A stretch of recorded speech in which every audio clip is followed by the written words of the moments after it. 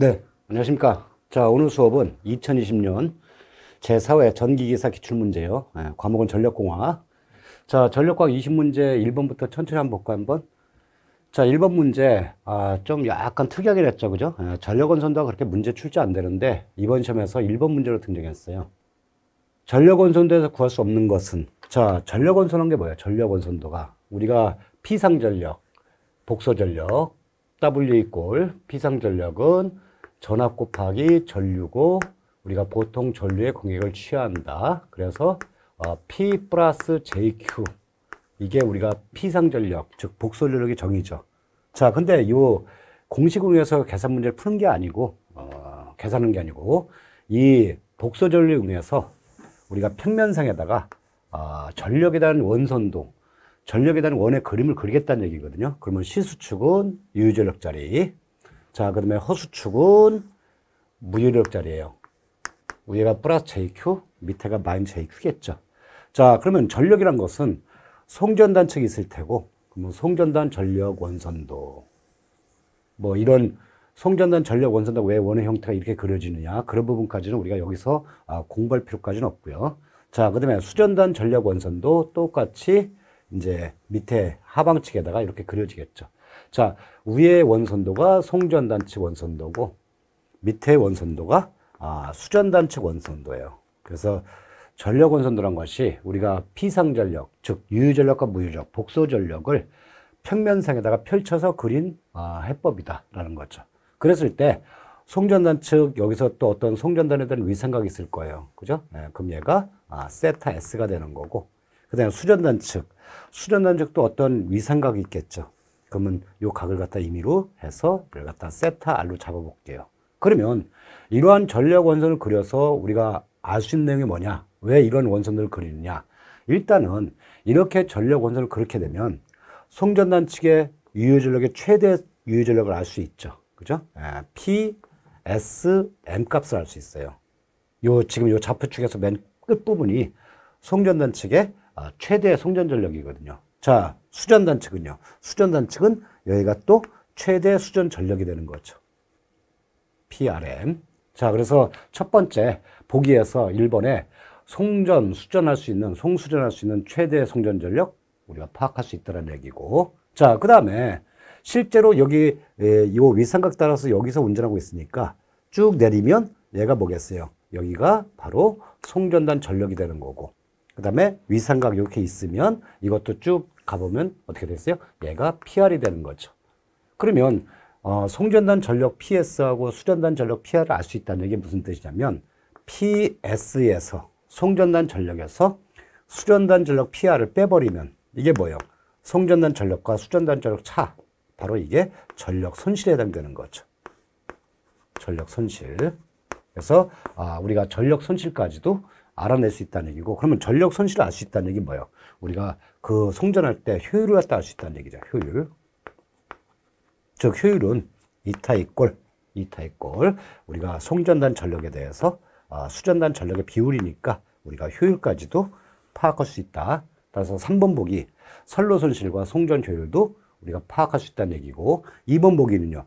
필요한 전력을 보내기 위한 송수전단의 전압과 상차각 얘가 송전단 상차각이고 얘가 수전단 상차각이니까 위상차각이니까 이두 가지 파악해서 송전단과 수전단의 상차각 즉 세타 이꼴 세타 S 마이너스 세타 에서 우리가 송수전단의 상차각까지도 파악할 수 있다는 얘기죠. 그죠? 에, 자, 그래서 1번, 2번, 3번 보기는 어, 원선들을 그려서 우리가 쉽게 파악할 수 있는 내용이 되는 거고 4번의 과도 극한 전력은요. 이 극한 전력, 즉 최대 전력은 알 수 있으나 아, 앞에 문구가 틀렸죠. 과도란 건 뭐예요? 과도라는 것은 과도는 정상 상태가 아니고 아, 어떤 계통에서 사고 났을 때 과도 상태는 것은 사고 시 계통에서 사고 났을 때 그때 상태를 말하는 거죠. 따라서 이 원선들은 것은 평상시에 정상 상태에서 어떤 극한 전력, 최대 전력은 파악할 수 있지만 사고가 발생했을 때 그 사고 극한 전력은 파악할 수 없다는 거예요. 그래서 4번 보기가 아, 해당이 안 되는 거죠.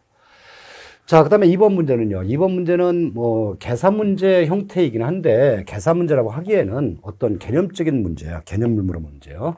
자, 지금 문제 읽어볼까요? 단상 이선식하고 삼상 사선식이에요. 그럼 여기다 한번 그림 그려볼게요. 첫 번째 단상 이선식 그죠? 예, 단상 이선식이면 어, 회로 자체가 이렇게 됐을까 이렇게 그죠? 단상 저는 한 상에 그죠? 이선이야. 그러면 요 사이에 요 전압을 우리가 성간전압 V라고 하고 요때 흐른 전류를 I라고 해볼게요. 자, 이게 단상 이선식이고 어, 두 번째 삼상 사선식은요. 삼상 사선식은 전원이 삼상이 되는 거죠. 그러면 삼상 전원은 이런 식으로 해서 Y결선 Y결선 그죠?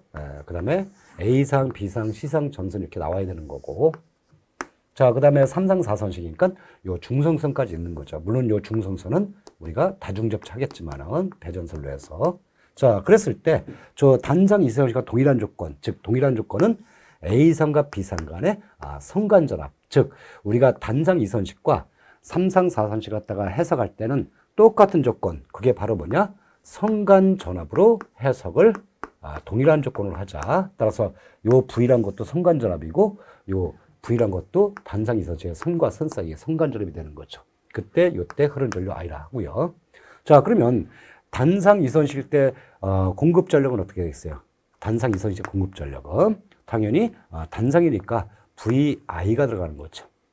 물론 여기다 세분하면 코사인 세타도 되겠지만은 문제에서 역류 조건 없으니까 코사인 세타를 갖다 1로 보자는 얘기죠. 그죠? 예. 자, 그 다음에 삼상 사선식은요. 삼상 사선식은 우리가 삼상에서의 송전 전력은요. 아, 공급 전력은 루트 3 VI가 되겠죠. 자, 근데 요 식은요. 요 지금 전력은 지금 요 단상 이선식일 때 총 공급 전력이고 얘는 삼상 사선식 때 총 공급 전력이란 말이야. 근데 문제에서 중요한 내용 하나가 있죠. 요거 이런 거 주목하셔야 돼요. 한 선당 전력비라고 해서 삼선당 전력비. 선전 한 가닥당 그러면 한 선당 전력비를 갖다가 따져보면 아, 단상 이선식과 삼상 사선식의 한 산당 전력비니까 자 단상 이선식일 때 지금 전선 두 가닥일 때 공급 전력이 VI죠. 그러면 한 가닥당이면 요 VI라는 전력을 뭐로 나눠야 돼요? 전선 가닥수로 나눠줘야 돼. 2분의 1로. 자, 그 다음에 삼상선선식에서 루트 3 VI는 뭐예요? 이건 전선 네 가닥에 대해서, 전선 네 가닥에 대해서 어, 총 공급 전력이 되는 거란 말이야. 그럼 얘도 마찬가지로, 아, 루트 3 VI를 전선 한 가닥당이니까 삼상 사선식은 전선이 네 가닥 아니에요? 물론 중성선은 어, 전력을 보내지 않지만은 전선은 어차피 엄연히 네 가닥이란 말이야. 그럼 어떻게 돼요? 4로 나누면 되겠죠. 자, 그럼 어떻게 돼요? 여기는 VI하고 여기는 VI는 약분되는 거고요. 그죠? 예, 그 다음에 여기 4하고 여기 2하고도 약분되겠죠. 그러면서 이게 2가 남는단 말이야. 따라서 어, 요 약분한 식을 갖다 정리해보면 어, 결국에는 2분의 루트 3만 남는 거고 2분의 루트 3 여러분들 한번 계산해 보세요. 근데 2분의 루트 3이라는 수치는 우리가 평상시에 많이 연습했던 거잖아요. 몇 나오냐면 0.866이 나와. 86.6% 나오는 거죠. 따라서 근사값은 뭐가 되겠어요? 0.87에 담는 거란 말이에요. 그죠? 예, 따라서 제 개념처럼 이런 식으로 해석하게 되면 이 문제가 가장 쉽게 풀리는 어, 어떤 풀이 해법이 되는 거죠. 다른 방법보다도 이 방법, 제가 지금 알려드린 방법이 가장 손쉬운 방법이에요. 비교하는 게. 따라서 2번에 0.87, 즉 86.7% 정도, 86.6%, 87%는 된다라고 생각하시면 되는 거죠.